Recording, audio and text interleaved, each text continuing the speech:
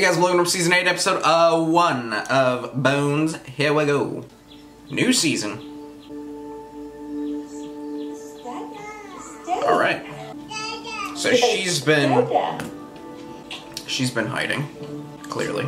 She changed her freaking hair. And she's been gone for a while. It's time to go. New place is quite close. Give me that little. You want to go look at Grandpa? Damn. Do you really have to look at these while you work? Well, they inspire me. Plot trained her for murder. Get you something to eat, okay?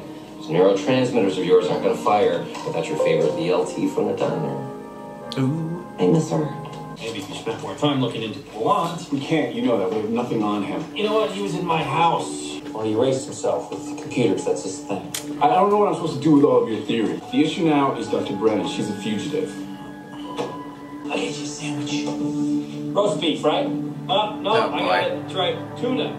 Extra mayo. Just because this is my office now doesn't mean I stole it from Dr. Brennan. That's your You could have office. I told you everything I discovered. And I need you to put it in a binder because we use binders now so everyone has access to the same information. Brennan didn't use binders. What? She could remember. I am not Dr. Brennan. She won't do any of the written reports for the binders. Yeah, because if you can't do the job like Brennan, He's not. Dr. Brennan, Angela, and he is the resident forensic anthropologist here. You will respect him.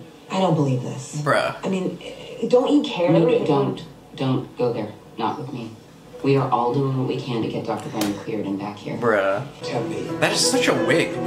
Right? Now, uh, place your cursor on the top. Top of the far left column. Maybe you could talk to Seeley. Pelant's threatening to file charges for stalking. Well, Seeley isn't going to listen to anyone until Pelant's locked up. You know that. And you say this tip was anonymous. This is just a weird. or a woman? Ooh. I found it like this. The remains were uncovered through keyhole excavation and then through step trenching. Each layer has been revealed and highlighted by brushing, not digging. Very professional. No. Very. Thus making it possible for forensics experts like us to pinpoint time of burial. Dr. Brennan. It's also possible that these remains are Dr. Brennan's and that Pelant is playing with us. Put together a search team now. Dr. Brennan's been here. I want her brought in. Now. Boy.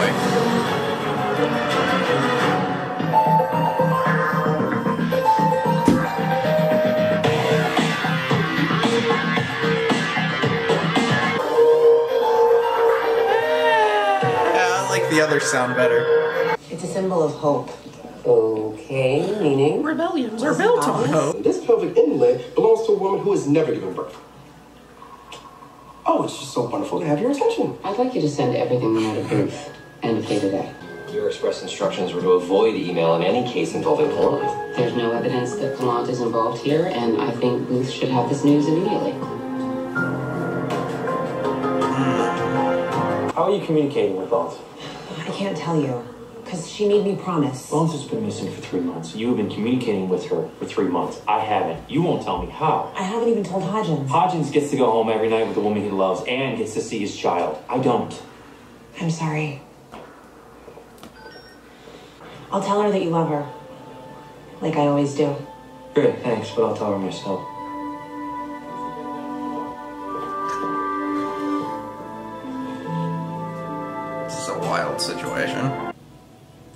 Like to see Booth standing there with his pen and index cards. Well, you see Cam, right? You know who she's talking to? She's talking to Booth. Oof.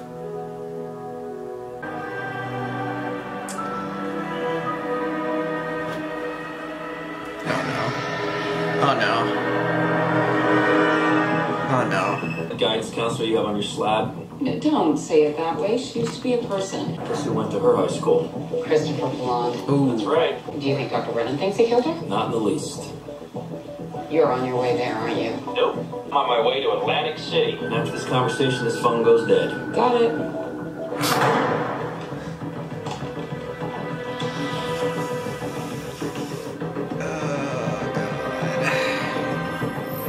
I hate this man.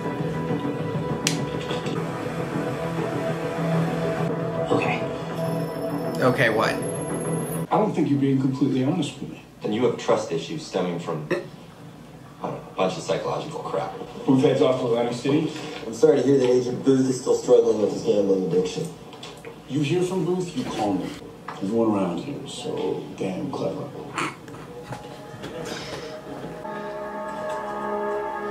I don't know if that guy's a problem or not. Like, if he's just doing his job, or if he's.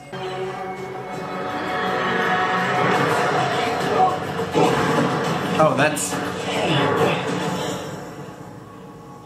Bones?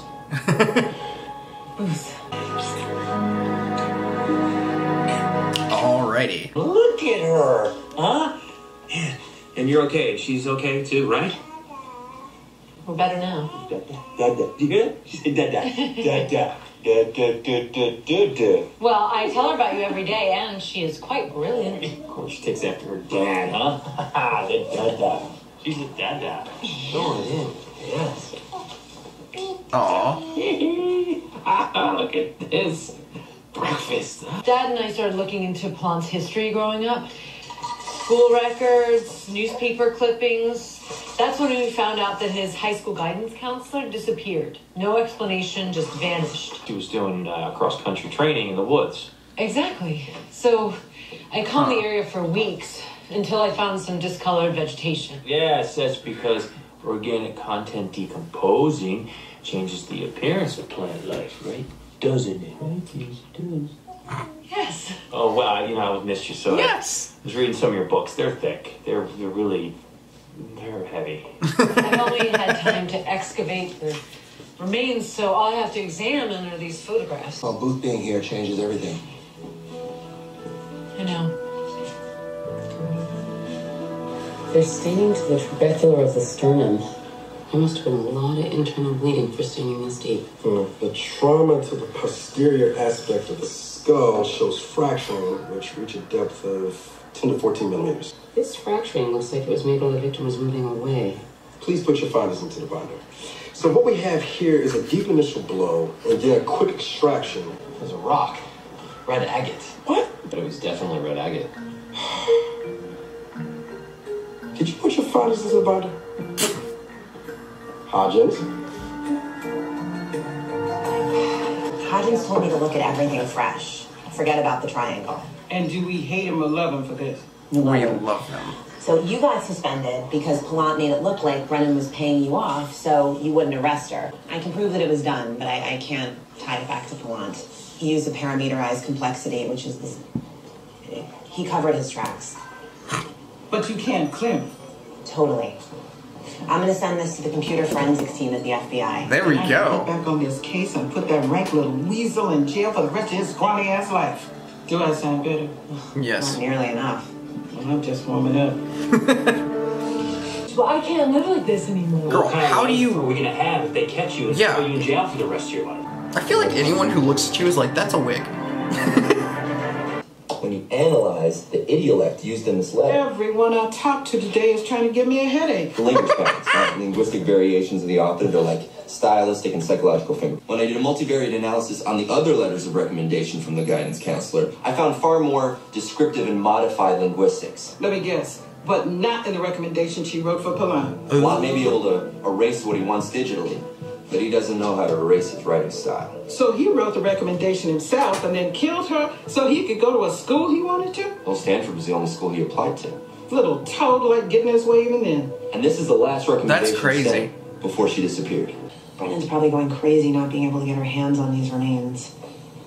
I'd like her to know that we're making progress. That is an accurate assumption. Um, do you think that you could do me a favor?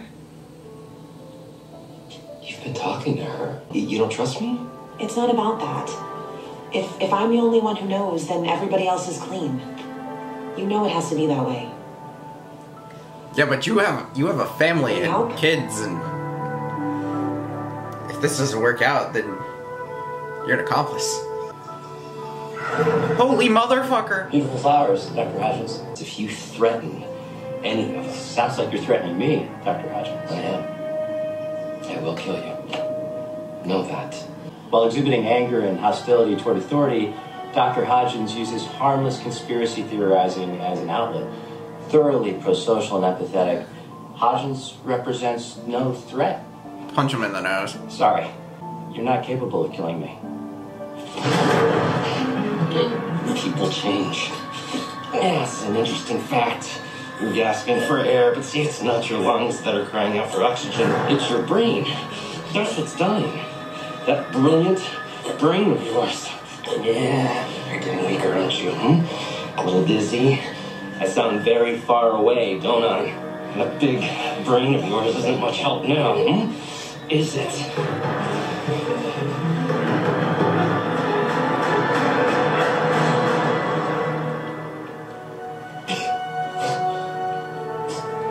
Damn. Damn. Pelant was there. How about we talk about that? Did you interact with him in any way? No, I did not. No matter what he says. What's that supposed to mean? It was mostly Brennan Or someone else. Hmm. telling Booth that she was okay. Or somebody else. Got. She was waiting for me to tell her that I had figured out how Pelant framed her for the murder of Ethan Sawyer, which I have not been able to do yet. Well, I'll tell you what you're gonna do. Then I will arrest you. Oh, cut that out now. You will not. I know what you're trying to do, Agent Flynn. You will not. Isn't going to show up at the next drop now that Pelant knows his flower system. True. I'm not going to lead you back to her. But if you want to follow me, I hope you like Mexican food because we're headed for the border.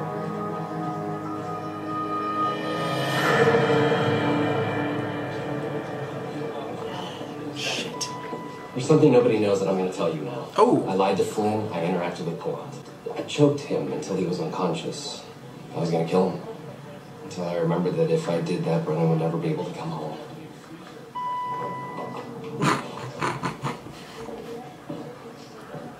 Is he waiting to get in the elevator and then freak out? Choked a man until he passed out. A bad man who killed people. You're hinting that if I had killed him, I'd be bad too? Hinting? He, he was staring in my face while I did it, and what I read there was, do it. Do it. Do it. Do it. Pelant is suicidal. What I know is that you and I need to discuss the fact that you're capable of murder. Cold-blooded murder. If it's true that Pelant actually wanted you to Okay, kill him, but that's everyone's different from being capable of murder. Everyone can kill someone else.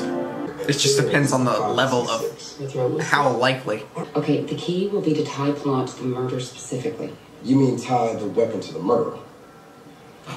Dr. Brennan would have done that better too, I know. Poor guy. I apologize. What you're working toward here to clear Dr. Brennan and bring her home will most likely lead to you losing your position here. Definitely occurred to me. Yeah, what didn't occur to you was to do a bad job. I'll never forget that. He's great. He's always been great. The arrangement was always that if Dad wasn't back from a pickup in six hours, Christine and I would get the hell out of Dodge. Max's term, I'm guessing. Max has a good reason for not coming back. I, I had to go. You know why? You understand? I understand, totally. I didn't know what else to do. I, I, it would never be my first choice to cause you pain. Look, he's not back in an hour. We have to go. Shit. Shit. I will take this, and Mr. Pelant will come after this one, and I will kill him. No, no, no, Max. and I will kill him. Booth, listen, I tried to talk some sense into Brennan, and try to bring her in. Sure you did. She's heading south on State Road 47, north of Collins, driving a uh, 86 blue Toyota Cressida with Pennsylvania plates. You're the second person to call that car in a storm. Shit. Shit. You need to leave. I beg your pardon? And take Clark with you. And the security guards. And everybody. What about you? I will be in my office getting caught up on the white binders. And seeing absolutely nobody you shouldn't see.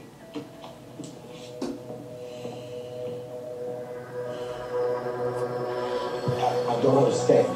Are all the security guards coming with us? What's happening?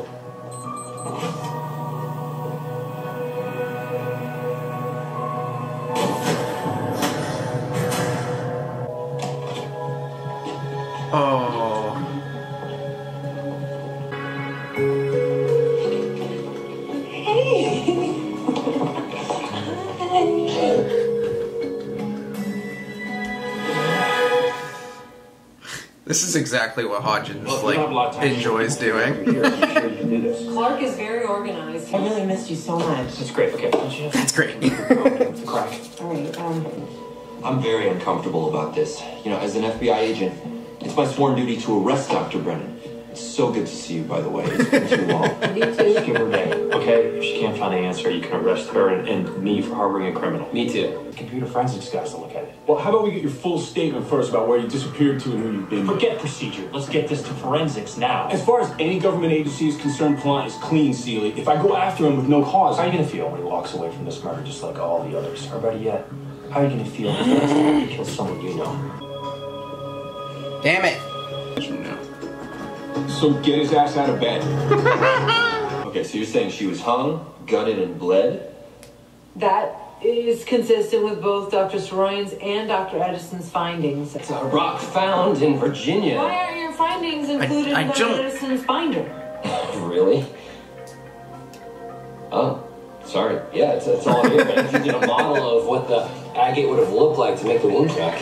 Pelant snared the victim while she was running through the woods. As she fell backward, her head hit the rock. The wound retracted because she's being pulled up. My God, we've missed you. Now I just need a murder weapon. Nice. Nice. Even a genius can make a few mistakes. It's too tight. Uh, for me, it isn't. Let's go. 8 a.m. on a Sunday morning, this better be good. They good. took Polanco into custody after hacking into an FBI email system, so we have a little room to breathe. I'll, I'll be damned. Hell Don't yes. be so surprised. You made Clark send that email to set up Polanco. Oh, you and your conspiracy theories. Are you any closer to tying the murder to Pelant? Which is why you can tell security that they won't be needed on a Sunday to check the lab, because I'll be here to look after things. That is very generous of you. Hey, I'm nothing if not dedicated.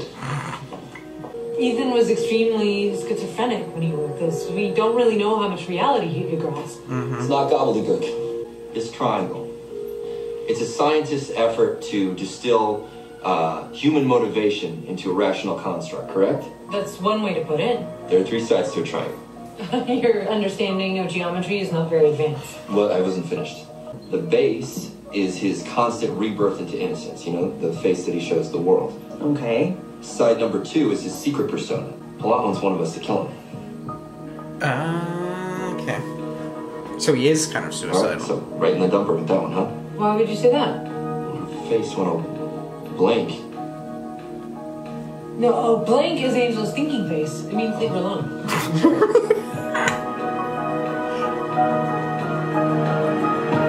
I don't understand. I don't understand what you're thinking.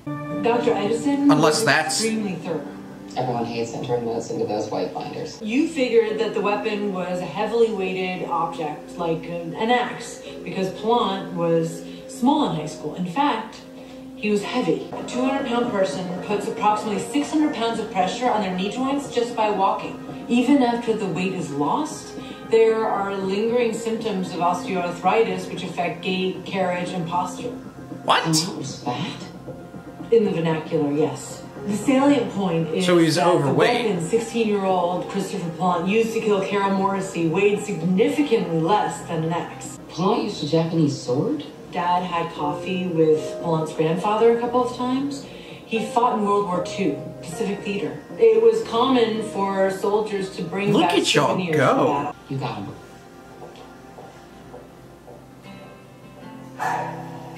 Let's go. Is this it?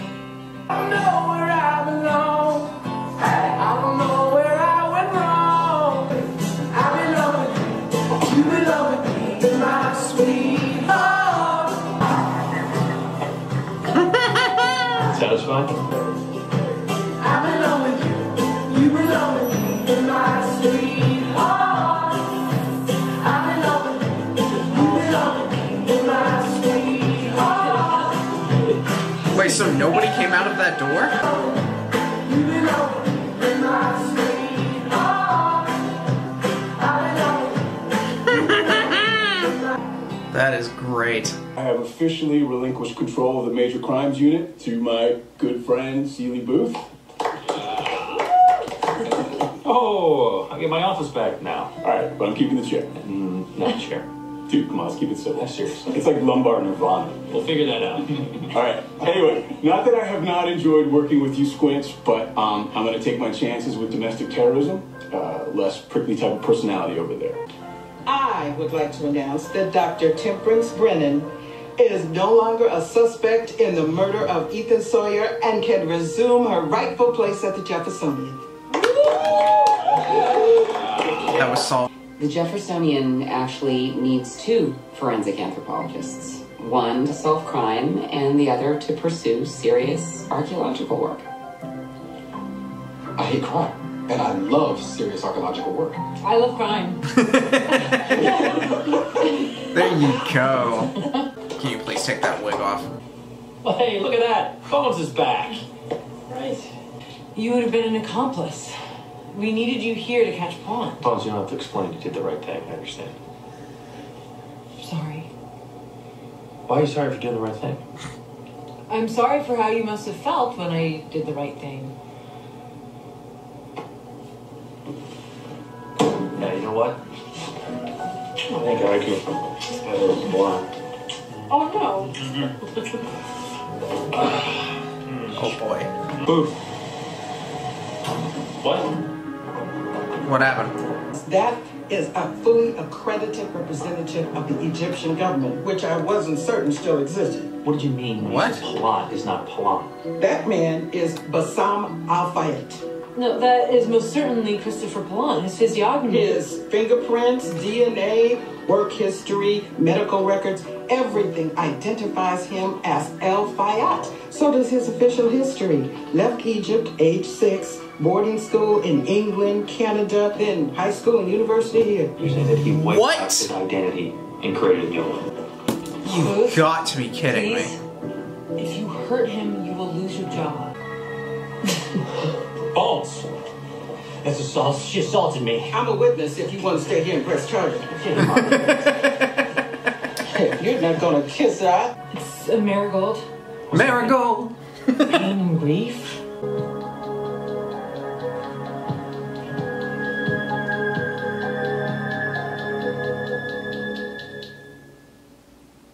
Why did you take the flower?